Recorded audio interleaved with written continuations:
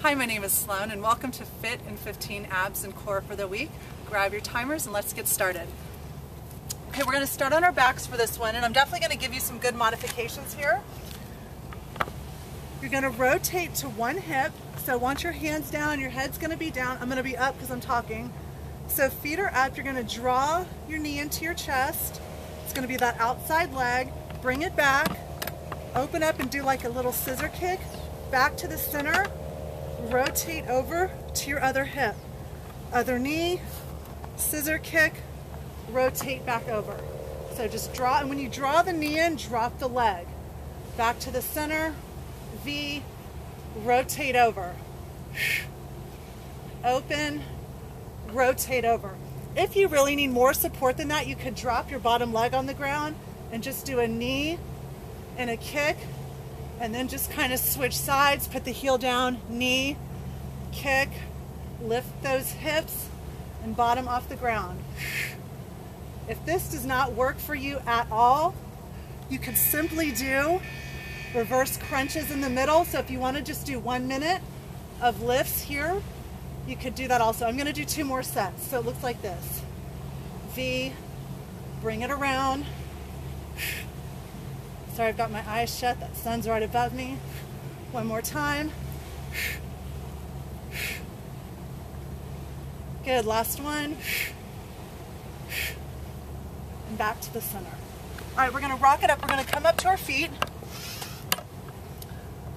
I want you to stand in front of your mat. So hands are behind your head. You're gonna walk down, okay, to your knees, all fours, hop out, bring it back in, hands up, walk up. You're trying to make it nice and continuous. Hit that plank, nice and tight, engage everything. I don't really think we need modifications here. I know everybody can do this. If you don't want to hop into the plank, you can always just walk it out and walk it back in. Good. So there's your modification again. Otherwise, you're popping those feet back. Good work. So finish each movement before you start the next one. Sit all the way up first and then walk up. Excellent. Good. All right, third and final drill. Back down. Heels are going to be, uh, remain in contact with the ground. Your knees are bent. Open your hands up so your palms face the ceiling or the sky. Come up just high enough to tap your knees and lower back down.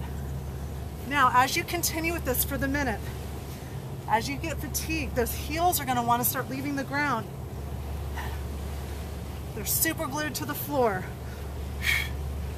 So if you start needing a modification and you feel like your heels are leaving the ground, come to a regular crunch. All right, remember to breathe. Exhale that breath. You want to get your palms to your knees. Looking out in front of you. Heels glued down. All right, how we doing? Good work, you guys.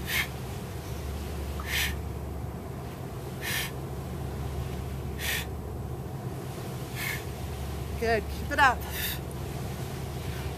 Almost there. Last one. All right, should be burning. You've got four sets left.